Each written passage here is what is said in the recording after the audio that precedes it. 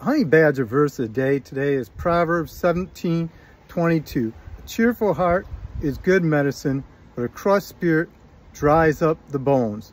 And the generation today is an anxious generation. It's a generation that's not based on play outside, but cell phones and computers before that. And my generation, we were always outside enjoying the weather. It's beautiful weather today. And we had things like this, Teenage Mutant Ninja Turtles, and we play with our Teenage Mutant Ninja Turtles. And I also had a skateboard, and I loved the skateboard all the time on my skateboard. But today, most kids, they're inside, and they don't have that same cheer, but they replace it with anxiety, and many kids are depressed today.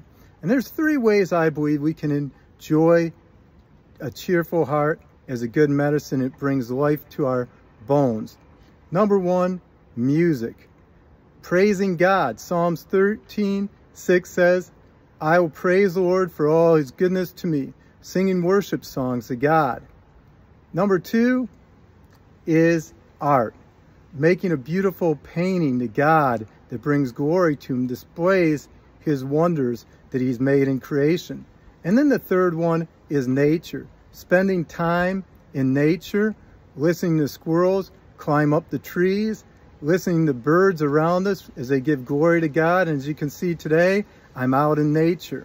And by doing this, we can have a cheerful heart and it'll bring healing as medication to our bodies and our minds and bring less anxiety.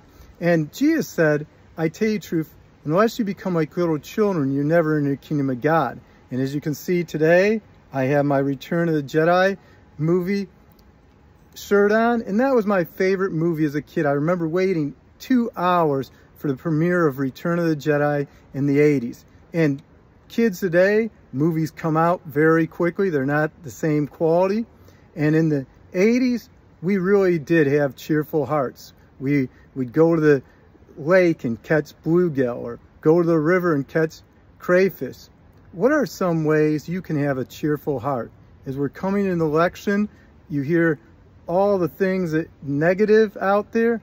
And Jesus said the hearts of many will grow cold, but he stands firm till the end will be saved. And we stand firm in hope.